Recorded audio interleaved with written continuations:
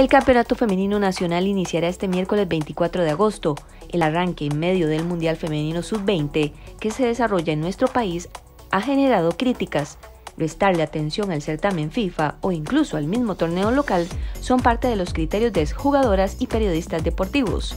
Dentro de esas consideraciones están quienes creen que se podía posponer una semana el comienzo de la primera fecha de los encuentros. A mi parecer, creo que cuatro días para finalizar el Mundial no hubiese hecho la, la diferencia en poder esperar, ¿verdad? Darle eh, un, un, cierre al mundial y que también tanto aficionados como jugadoras pudieran vivir de esta experiencia. Parece que el campeonato arranque en el momento mismo en que está el mundial femenino, creo que el mundial se merece un respeto, el, el mundial se merece que esté toda su atención creada en, en, en este evento que es, es importante para el fútbol de Costa Rica a nivel general y el campeonato nacional femenino, pues obviamente no va a tener la misma eh, atención. Parece que no está mal si ninguno de los partidos choca con alguno de los juegos que estén en el mundial. La primera fecha, al menos que ya tenemos eh, los horarios confirmados, no choca ninguno con las semifinales, entonces no lo veo mal,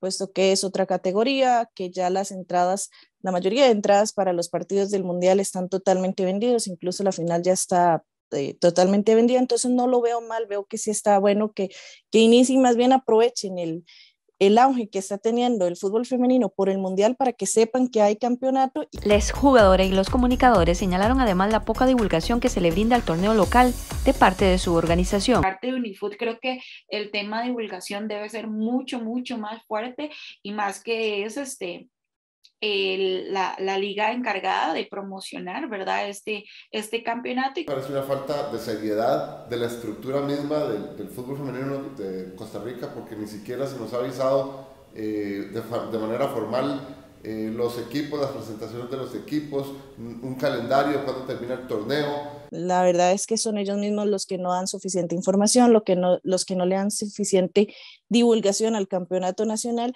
Si no fuese por los equipos, muchísimas veces ni siquiera sabríamos el horario de los partidos.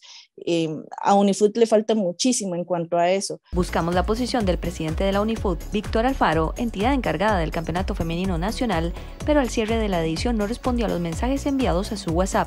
Este miércoles, Subasport recibirá a la Juelense a las 2 de la tarde en el Estadio Municipal de Pérez Celedón. A las 6 de la tarde en el mismo recinto jugarán Pérez Celedón y Dimas Escazú.